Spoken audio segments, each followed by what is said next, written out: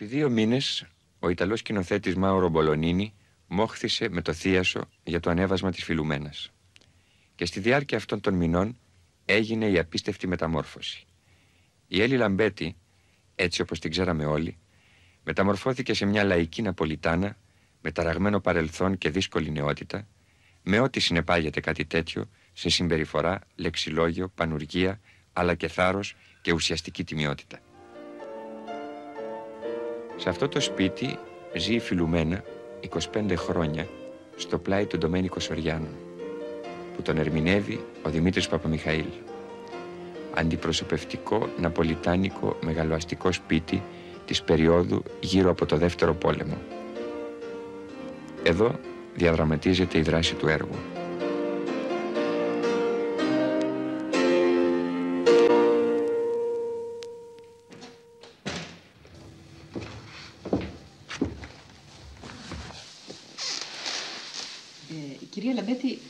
Ας μιλήσουμε για τη Φιλουμένα. Πώς είδατε εσείς τη Φιλουμένα, σαν χαρακτήρα, σαν πρόσωπο; Να σας πω, εγώ τη βλέπω όπως τη βλέπει ο συγγραφέα, δηλαδή δεν τη βλέπω με έναν δικό μου τρόπο. Διαβάζω ένα πράγμα που το έχει συλλάβει ένας άλλος στο μυαλό του, δηλαδή προσπαθώ να δω τι έχει δύο συγγραφέας. Το τι έχει δύο συγγραφέας δεν χρειάζεται και πολύ να προσπαθήσεις γιατί το έχει διγραμμένο. Λοιπόν, εγώ όταν διάβασα τη Φιλουμένα, φυσικά αμέσως δήλωσα ότι δεν μου πάει. Το έχω πει πάρα πολλές φορές. Και ακόμα το πιστεύω ότι δεν μου πάει. Όταν λέω ένας οποίο λέει δεν μου πάει, σημαίνει φυσικά ότι δεν του είναι εύκολο ένα πράγμα. Γιατί ένας οποίο πρέπει να του πάνε όλα. Δηλαδή κάνει την ίδια δουλειά με κάθε ρόλο και με αυτόν που του πάει και με αυτόν που δεν του πάει. Είναι πάντα με το ίδιο το αποτέλεσμα; Και όταν δεν του πάει; Εδώ είναι το θέμα, το αποτέλεσμα. Γιατί λέμε δεν μου πάει. Δεν μου πάει η φιλουμένα. Δεν θα, αυτό θα πει. Δεν θα μπορούσα να είμαι. Είναι αλλιώτικα τα παιδικά μου χρόνια.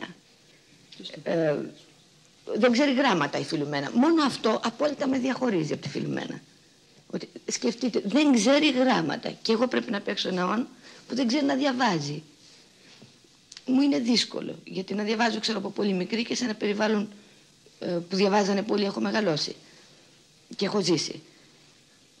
Το να σπροχτείς, να αισθάνεσαι τα ίδια πράγματα που αισθάνεσαι και εσύ ως άτομο, να τα αισθάνεσαι όπως το άτομο που δεν ξέρει καν να διαβάζει, είναι μια τρομακτική εμπειρία. Φτάνεις δηλαδή στην λιτότητα του αισθήματος, στην καρδιά. Και στο τέλος διαπιστώνεις ότι όλα τα αισθήματα εύκολα μπορείς να τους βγάλεις το απ' έξω και πάντα σημασία έχει η καρδιά, το κουκούτσι ας πούμε. Τον αγαπάει τα παιδιά της η Φιλουμένα. Όλες οι μονάδες αγαπάνε τα παιδιά τους. Αυτό το πρόσωπο πώς αγαπάει τα παιδιά; Δηλαδή διδάσκεσαι τρομερά παίζοντας την, ε, τούτο το έργο. Νομίζω και είναι και τεράστια αξία του. Γι' αυτό, έχει γίνει, γι αυτό είναι συμβολικό. Το πρόσωπο της Φιλουμένας είναι ένα σύμβολο. Βρίσκεις ότι είναι ένα σύμβολο που έχει ανταπόκριση στον ελληνικό χώρο σήμερα; Απόλυτα. Αλλά όταν λέμε ένα σύμβολο, ποτέ δεν, το περι... δεν είναι σύμβολο. Επειδή είναι ένα τυπικά ιταλικό έργο, το έργο του Ντεφίλιππο. Είναι τυπικά από την άποψη ότι κινείται στο περιβάλλον της ε, Νεάπολης, έχει γραφτεί μες στη διάλεκτο της Νεάπολης.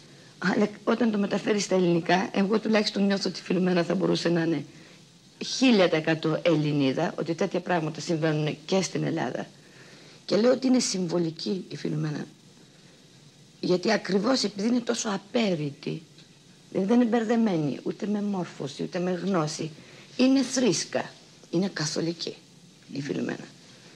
Βλέπει το τεράστιο πρόβλημα του σημερινό που είναι των αμβλώ, αμβλώσεων.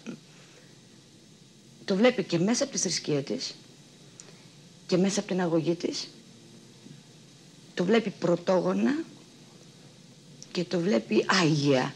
Εδώ μπορώ να σας απαντήσω, σου που είπες ότι αν μεταφέρεται στην Ελλάδα δεν ξέρω αν το δεις ναι. το έργο, η απήχηση που έχει στο κοινό, η συμμετοχή του κοινού, ακόμα και με λόγια, είναι για μένα πρωτοφανής. Δηλαδή το να λέει φιλουμένα το συμφέρον θα μπει ανάμεσά τους και από αδέλφια θα γίνουν εχθροί.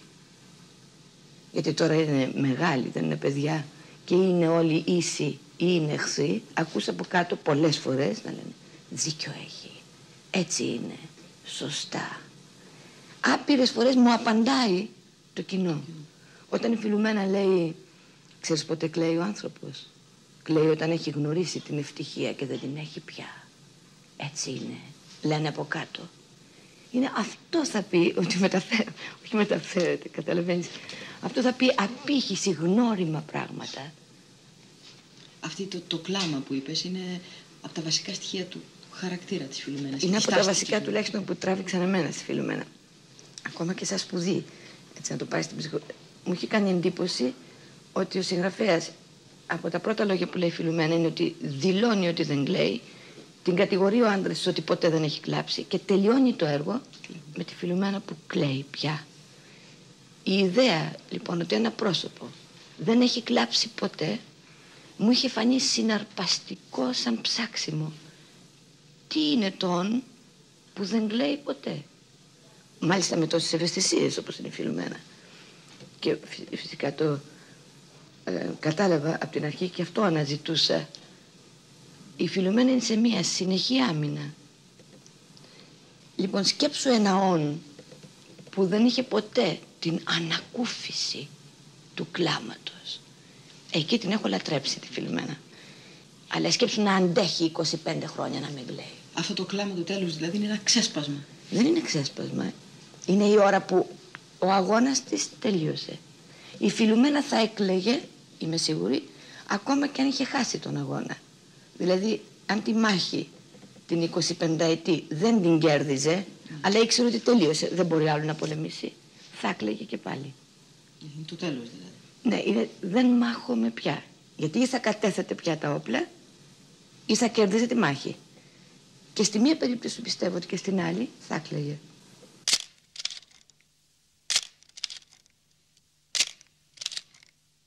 Να σε ρωτήσω κάτι. Μια λαμπέτη που φέρνει την αγωγή, τις καταβολές μιας πολύ φίνας πρωταγωνίστριας, πώς μπορεί να κλάψει λαϊκά, να κλάψει σαν μια λαϊκή γυναίκα, ακριβώς στο τέλος ενός αγώνα; Νομίζω πρώτον ότι το κλάμα δεν έχει τάξεις. Δηλαδή δεν κλαίει κανείς λαϊκά ή δεν κλαίει κανείς αριστοκρατικά. Δεν πιστεύεις ότι υπάρχει ένας έλεγχος πάντα και στις εκδηλώσεις μας αυτές; Ανάλογα με την αγωγή μας, ξέρω, με τον τρόπο που έχουμε μάθει να ζούμε, να αντιδρούμε. Ε, ξέρω ότι το φαγητό καμιά φορά μπορεί να τρώσει λαϊκά και να έτσι βάναυσα ή κομψά. Αλλά όταν κλαις, νομίζω ότι κλαις ε, άνευ τάξεων. Δεν έχεις δυσκολίες δηλαδή για αυτό το κλάμα, τελευταίο κλάμα. Μα γιατί δεν έχει καμία ειδική όψη το κλάμα. Είναι απλώς κλάμα. Ή τη Φιλουμένα έπαιζα που κλαίει. Ή την Ιουλιέτα έπαιζα που κλαίει. Νομίζω ότι θα έκλαιγα το ίδιο.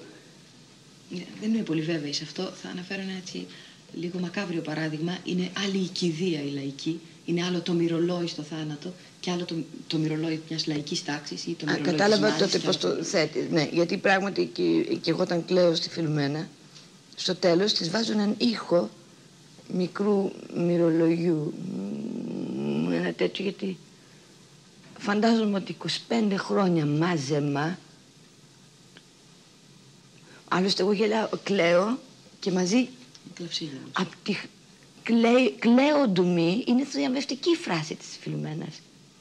Κλαίω και το χαίρεται. Μ' αρέσει πολύ αυτό το φινάλε. Γιατί έχω ψάξει και το νιώθω σαν πόνο.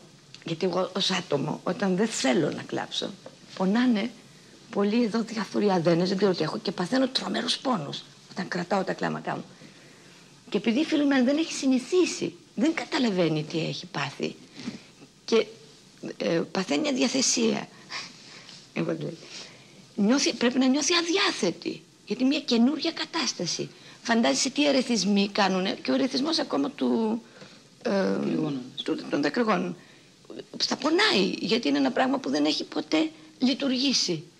Και το αρχίζω από εκεί. Τον πρώτο πόνο, τη μια διαθεσία στην αρχή, νομίζω ότι κάτι έχω. Την καρδιά μου. Και ήταν αστείο που λέω νομίζω. Ενώ η Φιλουμένα.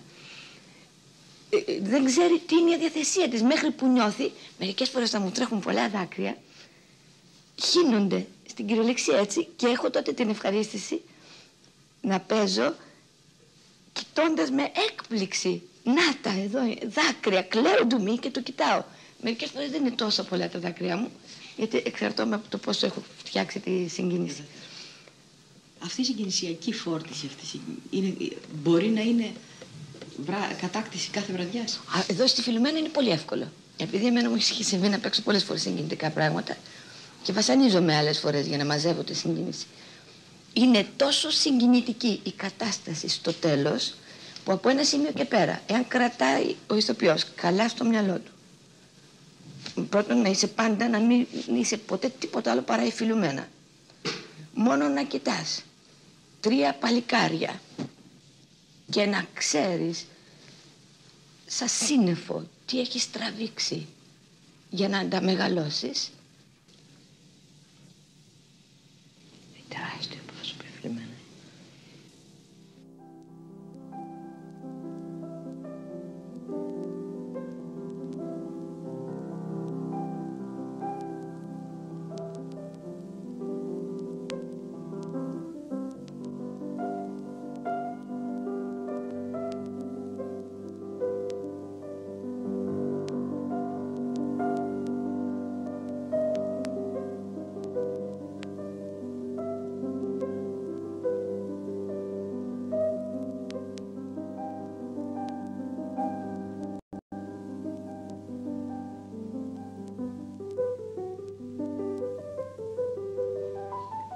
Με τα παιδιά της που φεύγουν ακριβώς όπως τα ήθελε, που θα ξανάρθουν αύριο, που έχουν σπίτι, που έχουν όνομα. Αλλά φτάνοντας εδώ τώρα σκέφτομαι, γιατί τόσο πολύ μου έχει επιβληθεί η Φιλουμένα σαν άτομο και με βοήθησε να το σκεφτώ, δεν το είχα σκεφτεί πριν, γιατί την θεωρούν ακόμα, όπως λέει ο Μπολονίνη, Αγία και γιατί σαν μάνα είναι σύμβολο. Γιατί και είναι μάνα που καν δεν έχει μεγαλώσει τα παιδιά της, τα έχει εγκαταλείψει, δεν μπορούσε. Ναι, αυτό είναι μάνα, αυτό είναι όν, γιατί αγωνίζεται ακόμα και όταν κάθε τι που μπορούσε να πάρει από τα παιδιά της το έχει χάσει. Αυτή δεν πρόκειται τίποτα να πάρει, το λέει κιόλας. Τα παιδιά είναι παιδιά όσο είναι μωρά και τα παίρνεις στην αγκαλιά σου. Αλλά τώρα είναι άντρες. Δηλαδή έχει χάσει. Και λέει, τη γλύκα των παιδιών τη χάσαμε πια. Πάει λέει η Φιλουμένα. Επομένως αγωνίζεται ως τώρα όταν το δικό της ατομικό κέρδος σαν μάνας που είναι η γλύκα των παιδιών το έχει χαμένο. Αγωνίζεται χωρίς κανένα κέρδος δικό της. Αγωνίζεται σαν μάνα για τα παιδιά της. Και όσο μπορεί ακόμα να τους προσφέρει, αγωνίζεται. Τους το προσφέρει και τελειώνει. Και λέει, είναι, είναι υπέροχη φιλμένα σαν γυναίκα. Ε, πραγματικά ένας ηθοποιός μπορεί να ζει αυτή την κατάσταση κάθε βράδυ; Αχ, ναι, τι ζει. Τι ζει και είναι βέβαια και κουραστικό.